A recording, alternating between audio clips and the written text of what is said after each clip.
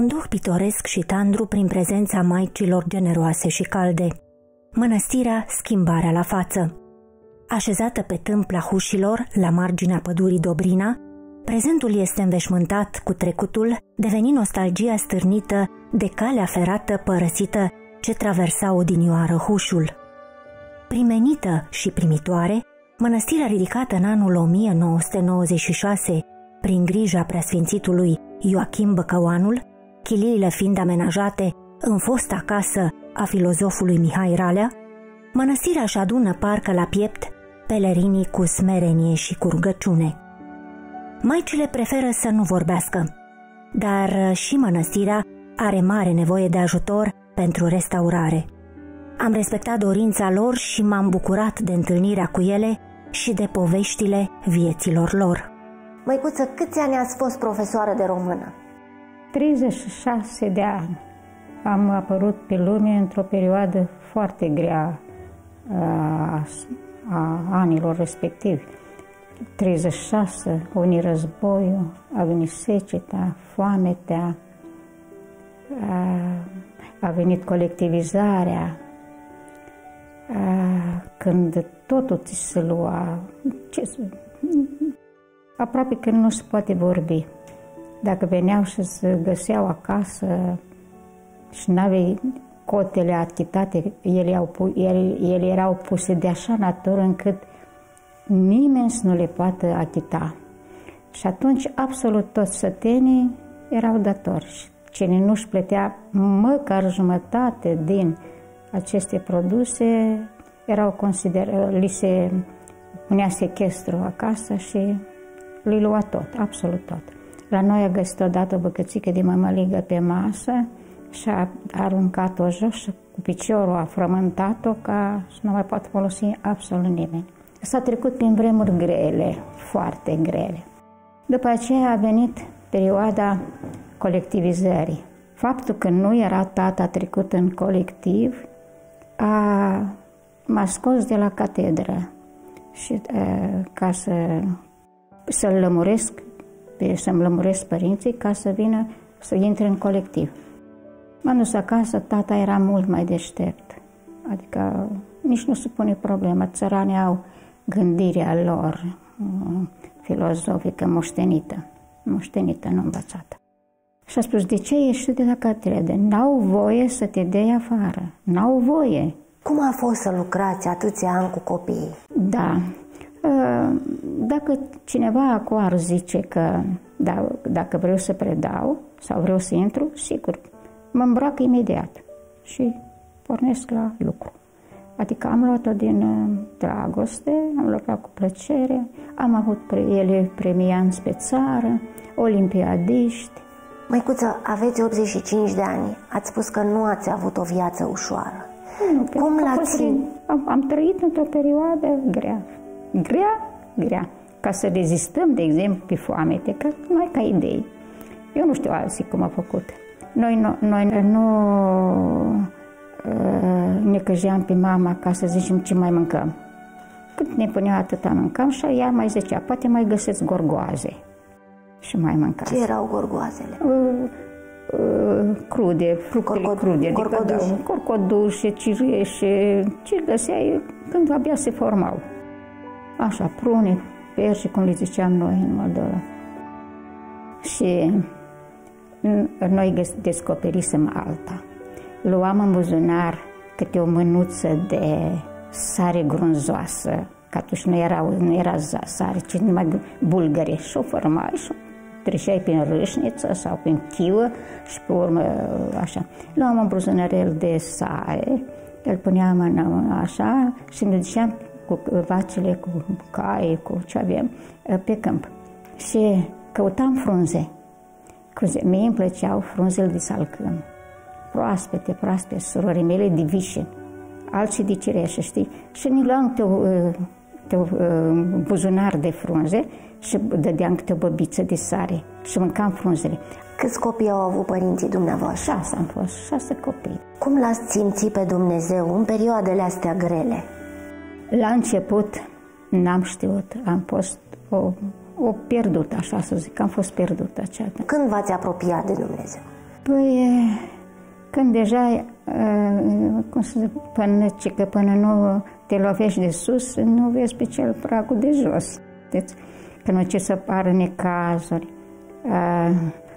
boală, dar mai ales neînțelegeri, așa, sigur că te-ai aproape. Aveam nevoie să, am, am mers prin sate, că am fost uh, repartizată. Am avut in, uh, intenția, să zic, bună, de a da concursuri de tot felul ca să poți intra în oraș. Pentru asta aveai nevoie de ajutorul Dumnezeu și apelând la Dumnezeu te, te domolit într-un fel sau ți-ai ai reușit să-ți descarci sufletul și să te simți în oarecum mai ușurat.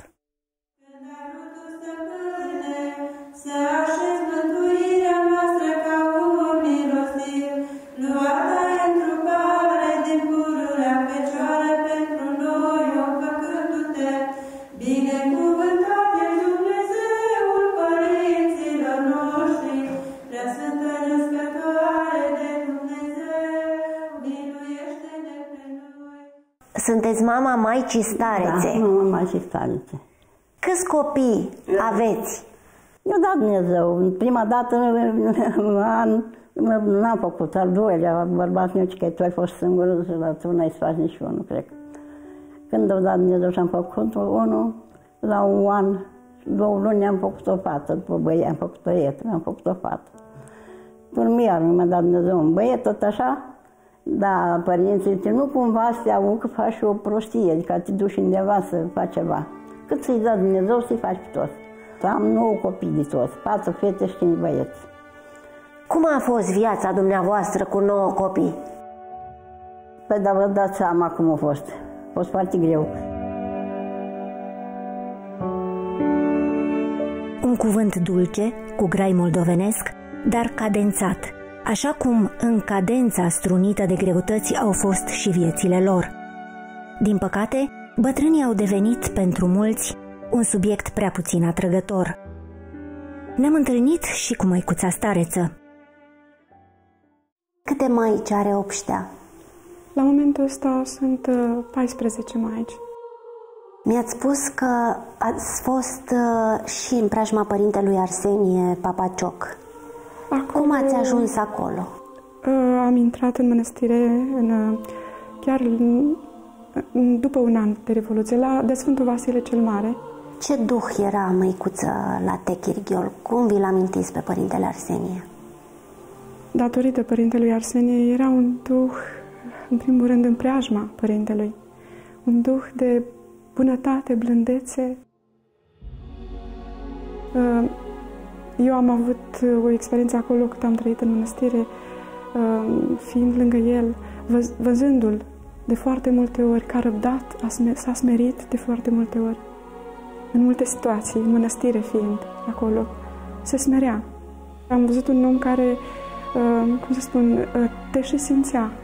Când erai în preajma lui, dacă erai mâhnită, supărată, așa, Poate unele îndrăzneau să spună, eu de multe ori nu spuneam ce am pe suflet, dar părintele mă simțea. Discuta cu mine, așa, îmi spunea multe lucruri care, la un moment dat, simțeam că era un balsam pentru suflet. Și mă, parcă îmi se vindeca um, durerea care o aveam în interior. Așa dacă te mustra, el îți spunea, scumpă măicuță, și îți adresa niște cuvinte, dar de fapt nu simțeai niciodată că el te certa. Sunt ispite în mănăstire, de multe ori așa.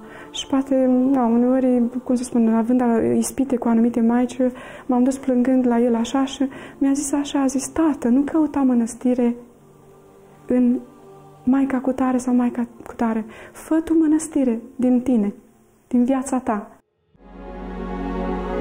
De pe dealul Dobrina, Povestea a curs în ritmul întâlnirii cu oameni care meritau un popas mai pendelete făcut, dar a fost rostită cu gândul revenirii și al regăsirii.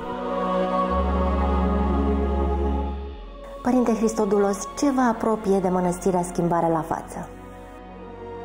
Păi ce să mă apropie de schimbare la față, mănăstirea schimbare la față? Uh, prin faptul că sunt vețuitor aici, sunt slujitor și slujind Sfânta Liturghie, atunci te face să iubești locul acesta, pentru că unde slujești mai mult, te legi de locul respectiv, pentru că devii cumva uh, aceeași ființă cu locul unde slujești.